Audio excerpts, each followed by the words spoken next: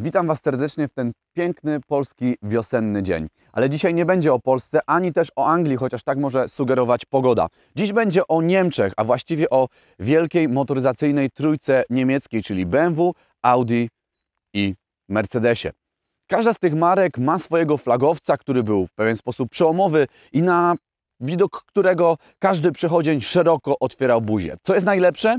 Że dziś te auta już jako kilkunastoletnie używane egzemplarze nie kosztują pół miliona, a kilkadziesiąt tysięcy złotych, ale nadal robią wielkie wrażenie.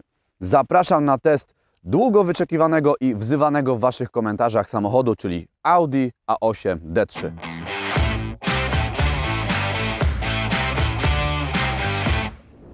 Wszyscy teraz narzekają na ogromne grille w BMW. A tutaj proszę, Audi już podczas liftingu w 2005 roku zdecydowało się na powiększenia grilla w A8 i moim zdaniem bardzo dobrze, bo wersja poliftingowa znacznie bardziej mi się podoba. Pewnie znawcy tematu już dostrzegli ten emblemat S8 i już powoli dostają palpitacji serca. Otóż, moi drodzy, nie ma czegoś takiego jak S-Line w Audi A8. Dokładnie.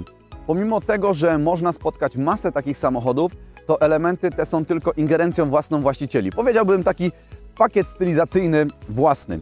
A 8 można było wyposażyć w pakiet sportowy, który dodawał kilka elementów w wyposażeniach, jednak to nie jest S-Line, który możemy spotkać w innych modelach tej marki.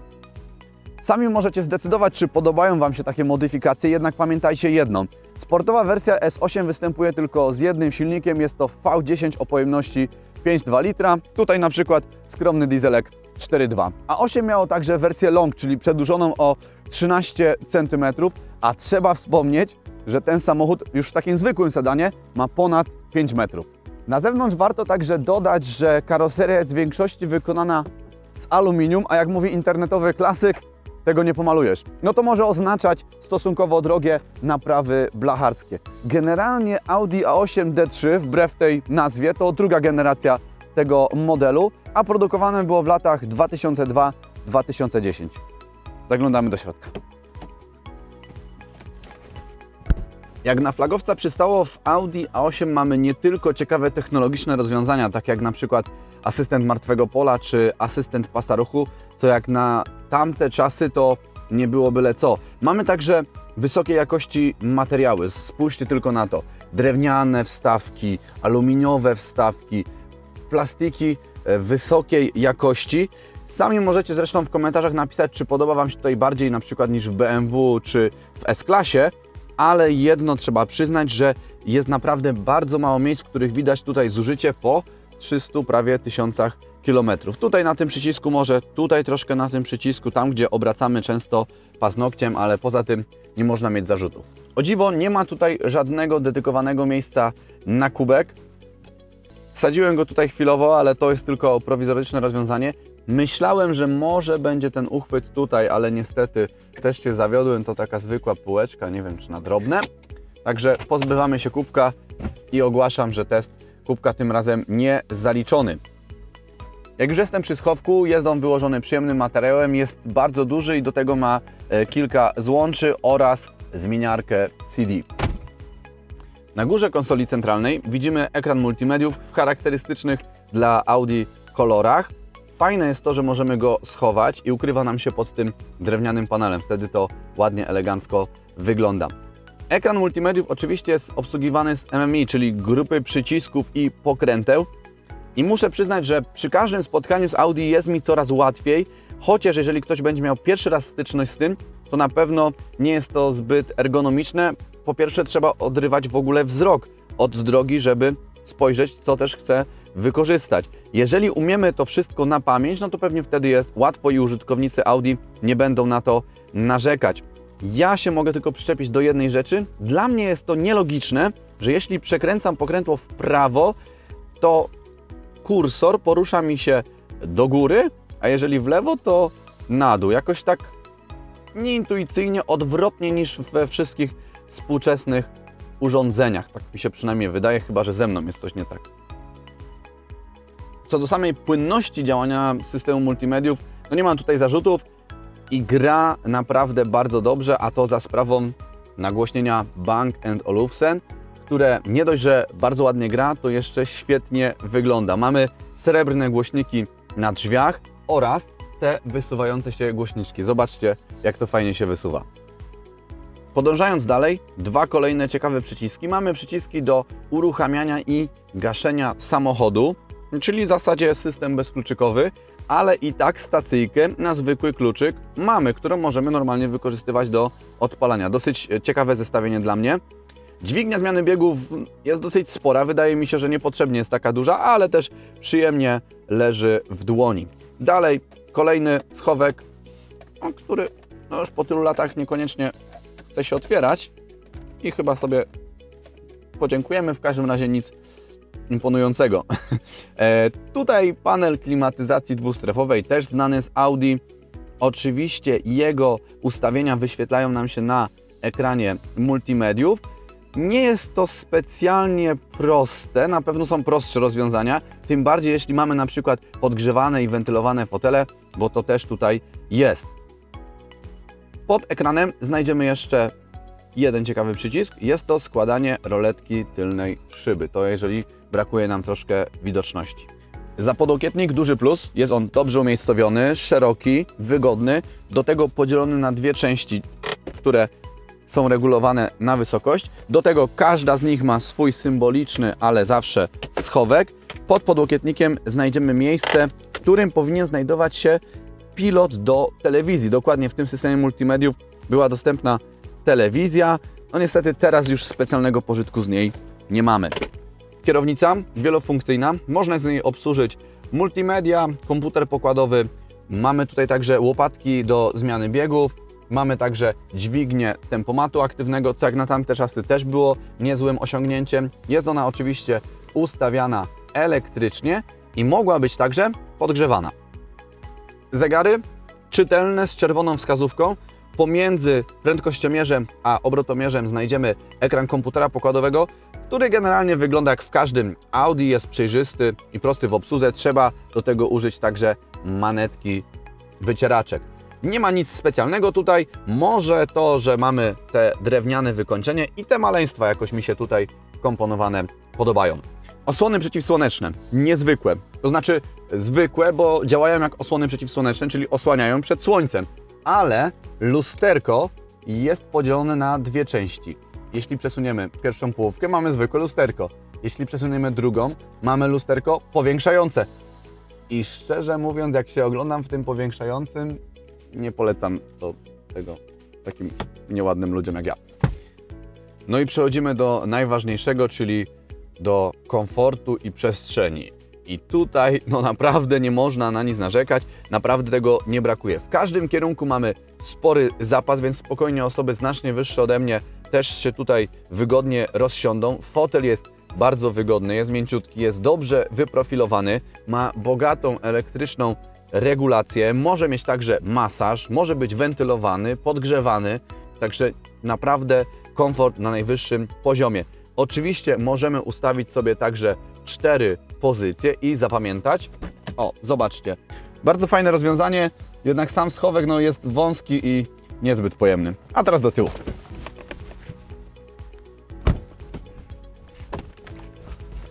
Tutaj od razu w oczy rzucił mi się ten panel, bo to nie tylko światełka, ale także sterowanie roletkami, czy szyby tylnej, czy też szyb pasażerów. Bardzo fajnie. W ogóle pasażerowie z tyłu mają bardzo dobrze. Po pierwsze miejsce. No, tego tutaj nie brakuje. Spory zapas na nogi, spory zapas nad głową. Kanapa zresztą jest fajnie wyprofilowana, jest bardzo wygodna, więc można się rozsiąść. Chociaż od razu powiem, że jest to samochód dla czterech osób. Spójrzcie zresztą na rozmiar tego tunelu. No nic dziwnego w aucie z napędem na cztery koła. Zanim jednak zaczną się komentarze, że znowu wyszukaliśmy jakiejś wyjątkowo biednej wersji, to proszę docencie to, bo tego egzemplarza też naprawdę bardzo długo szukałem. I wiem, jestem świadomy tego, że można spotkać takie egzemplarze, w których będziemy mieli tutaj panel klimatyzacji, w którym będziemy mieli ekrany DVD w zagłówkach, w których będziemy mieli panel do przesuwania przedniego fotela, ale i tak w Audi A8 naprawdę jako pasażer nie można narzekać. Mamy nawiewy tutaj i na słupkach, mamy szeroki, wygodny podłokietnik ze schowkiem i z apteczką oraz z fajnymi uchwytami na kubki. Mamy otwór do bagażnika, gdybyśmy chcieli przewieźć coś dłuższego. Mamy dosyć ciekawe schowki oraz wykończenie z tworzywa, dzięki czemu będzie łatwo ten fotel utrzymać, a także elektrycznie zwijane roletki w drzwiach. Naprawdę jest tutaj więcej niż OK. Zobaczmy teraz, czy jest więcej niż OK w bagażniku. Klapa bagażnika otwiera się elektrycznie. Można to zrobić albo z przycisku na klapie, albo z przycisku na drzwiach, albo też z pilota. No, w takich starszych egzemplarzach troszeczkę trzeba jej pomóc. No i też trzeba mieć dużo cierpliwości, żeby odczekać, aż się otworzy. Pojemność to jest 500 litrów i faktycznie jak się spojrzy, to na pierwszy rzut oka widać, że tej przestrzeni tutaj nie zabraknie. Nie brakuje też kilku takich fajnych akcentów. Spójrzcie na to. To na przykład półeczka na klucze. Ciekawy jestem, ile osób, takich pierwotnych właścicieli, faktycznie samemu zmieniało koła w tym samochodzie.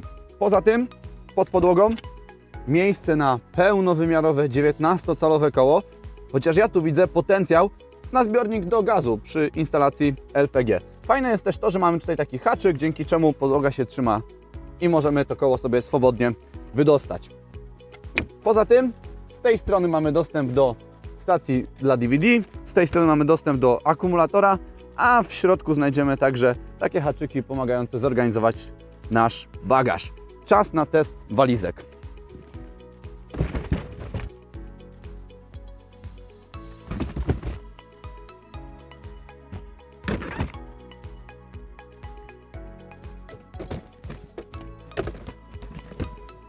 W zasadzie moglibyśmy je wrzucić byle jak, bo i tak się mieszczą bez problemu.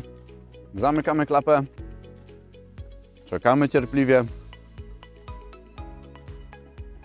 I test zdany. Zatem czas się przejechać.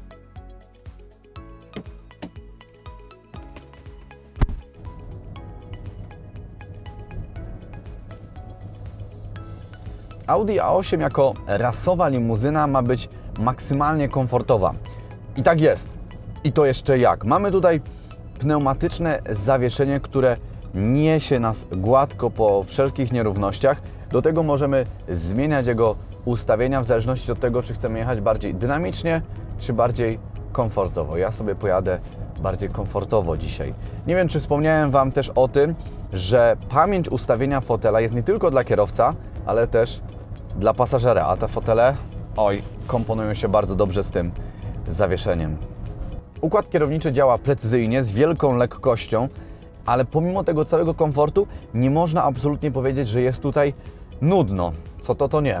Najwolniejsza A8 przyspiesza do 100 km na godzinę w 8,3 sekundy, co jest wynikiem bardzo dobrym jak na takie auto. Ja mam tutaj diesla o pojemności 4,2 litra V8 o mocy 326 koni mechanicznych i ten robi sprint do 100 km w 5,9 sekundy, a to już jest rewelacyjny wynik. Dokładnie jest to egzemplarz z 2006 roku, czyli poliftingowy. W kwestii komfortu warto jeszcze dodać, że zawsze mamy automatyczną skrzynię biegów, ale żeby nie było tak różowo, to w zestawieniu z przednim napędem występuje nielubiana przez wielu skrzynia automatyczna Multitronic. W takim egzemplarzu jak ja mam, mamy Quattro, czyli napęd na cztery koła typu Torsen oraz skrzynię automatyczną Tiptronic. I tutaj nie ma żadnego zarzutu.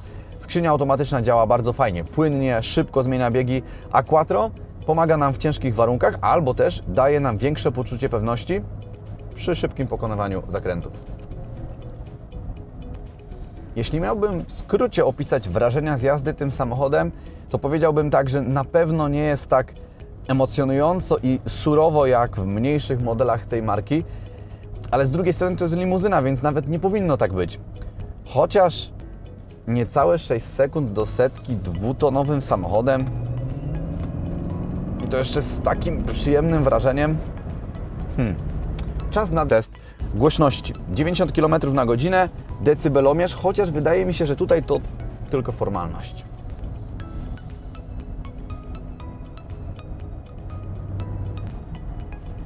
No, wynik rewelacyjny potwierdza moje odczucia. 54 dB, no, czyli czołówka naszego zestawienia. Jeśli chodzi o widoczność, to nie jest źle, ale mimo tego manewrowanie tym kolosem i tak nie jest zbyt przyjemne. Parkowanie, zawracanie czy poruszanie się po wąskich uliczkach centrum no, nie jest najłatwiejsze. A jak to jest z tymi cenami? W końcu ten samochód jako nowy był dostępny tylko dla najbogatszych, a teraz jest dostępny prawie dla każdego. Ceny na Otomoto wahają się od 19 do 96 tysięcy złotych, a pełną listę ogłoszeń możecie sprawdzić klikając w link w karcie. W A8 spotkamy tylko silniki V6, V8, V10 i W12. Nie ma tutaj miejsca na jakieś R6 czy R4, ale idąc po kolei. Wśród benzyn pojemności od 2,8 do 6 litrów, a moc od 210 do 450 koni mechanicznych. Co ciekawe, w wersji sportowej S8 występuje jednostka 5.2 V10 FSI o mocy 450 koni mechanicznych, czyli nie ta o największej pojemności, ale za to blisko spokrewniona z jednostką z Lamborghini Gallardo. Jednostki o oznaczeniu FSI 2.8, 3.2, 4.2 i 5.2, czyli z wtryskiem bezpośrednim, nie były dostępne od początku produkcji. W ich przypadku montaż LPG będzie mniej opłacalny, a koszty eksploatacji oraz ryzyko uszkodzenia wyższe. Mogą także borykać się z problemem nagaru, ale generalnie nie powinny być awaryjne ponad normę, jeśli nie miały ciężkiej historii i odpowiednio o nie dbamy. Są tacy, którzy uważają, że jednostki o pojemności od 2,8 do 3,7 litra są po prostu za słabe dla tego samochodu, jednak dane wskazują, że wcale nie jest tak źle. Przy zakupie silnika wolnosącego, czyli 3.0, 3.7, 4.2, ryzyko awarii jest mniejsze, bo to prostsze konstrukcje, a i moc zadowalająca. W12 o pojemności 6 litrów to jednostka rewelacyjna, jednak skomplikowana w budowie, a co za tym idzie, droga w utrzymaniu. Jeśli jeszcze weźmiemy pod uwagę brak sympatii oraz ryzyko, którym obarczony jest Multitronic, to pozostaje nam wybór pomiędzy V8 3,7 litra lub V8 4,2 litra MPI. Oba występują z Quattro i Tiptroniciem. Diesle jak zawsze będą oszczędniejsze w spalaniu, ale można się tam spodziewać kilku drogich napraw, takich jak wymiana rozciągniętego łańcucha rozrządu, wymiana filtra DPF, naprawa usterek wtryskiwaczy czy turbosprężarek. Jeśli jednak trafimy na zadbany egzemplarz z udokumentowanym przebiegiem, to te silniki będą zdolne pokonać setki tysięcy kilometrów. Pojemności do wyboru to 3.0, 4.0 i 4.2 i mocy odpowiednio 233, 275 i 326 koni mechanicznych. Każdy z nich mógł występować z Quattro. Ponownie najczęściej polecany to 4.2 TDI ze względu na bardzo dobrą relację spalanie, dynamika, a masa pojazdu. Kwestii kosztów utrzymania warto wspomnieć, że przez to, że te auta mają zawsze bogate wyposażenie, pełne elektroniki i zaawansowanych technologii, koszty utrzymania i ewentualnych napraw raczej będą wysokie. Do tego wspomniana karoseria wykonana ze stopów lekkich, której naprawa też nie jest tania. Będąc jednak uczciwym, trzeba wspomnieć, że na przykład Airmatic, pomimo tego, że brzmi strasznie, uchodzi za jeden z najtrwalszych tego typu układów. Skrócie, jeśli kupujemy tak prestiżowe auto, to musimy być przygotowani na to, że wystąpią jakieś nieoczekiwane koszty doprowadzenia tego samochodu do pożądanego stanu. Poza tym, stara jak świat zasada, im więcej bajerów, tym większa szansa, że coś się zepsuje albo po prostu zużyje. Małe podsumowanie zobaczycie w tabeli kosztów. Pierwsza z kosztami przeglądu zerowego, który warto zrobić po zakupie auta, a w drugiej koszty poważniejszych napraw mechanicznych i blacharskich. Dla uzupełnienia informacji o kosztach utrzymania takiego samochodu sprawdźcie jak wypadł testowany egzemplarz z silnikiem 4.2 TDI w naszym teście spalania. W tabeli prezentujemy wynik przeprowadzonego testu na autostradzie, na trasie oraz w mieście. Na podsumowanie naszego testu trzy argumenty na tak. Po pierwsze, bardzo wysoki komfort podróżowania. Po drugie, bogate wyposażenie w większości egzemplarzy na rynku wtórnym. I po trzecie, gama silnikowa, w której nie ma słabeusza. Oraz trzy argumenty na nie. Po pierwsze, wysokie koszty utrzymania. Po drugie, duży rozmiar daje nam sporo przestrzeni i komfortu, ale także sprawia problemy przy manewrowaniu i parkowaniu. I po trzecie, sporo ryzykownych egzemplarzy na rynku wtórnym. Dziękuję Wam za oglądanie. Mam nadzieję, że Wam się podobało, bo naprawdę szukałem tego samochodu, dlatego że o nim pisaliście. Dajcie znak w komentarzach, co powinienem dalej poszukiwać, A tymczasem ja się żegnam. Do zobaczenia w następnym odcinku. Pamiętajcie, aby subskrybować kanał. Cześć.